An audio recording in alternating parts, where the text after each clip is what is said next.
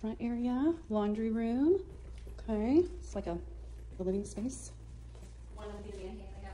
Yeah, not closed off area, but this kitchen definitely isn't my favorite, but I would paint the cabinets. Area. Oh, that bathroom stinks. Here's the master. Nice big soaker tub down the hallway. That is cool. These two rooms connect. Here's the pool. Hate this. Is below. Here's the other bedroom. There's six bedrooms, so five upstairs, one downstairs. That is like Really, the yard is very, very A lot small. of light down there. Yeah, a lot of good lighting, the tall ceiling.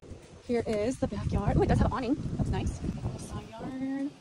Could potentially turn that into grass, maybe. Water view back there. Just leaving both of the houses and the first one I really loved. It had everything that we need. Um, the yard is smaller than I wanted, but like space wise, it was perfect. And it felt like they took good care of the house, even though it was older. Everything just looked really nice, but Dwayne just wasn't 100% sold. He didn't love the outside of it that much. And then the second house, it had a gorgeous pool. I mean, the backyard was beautiful, but there was no space for the dogs. Like the whole yard is a pool.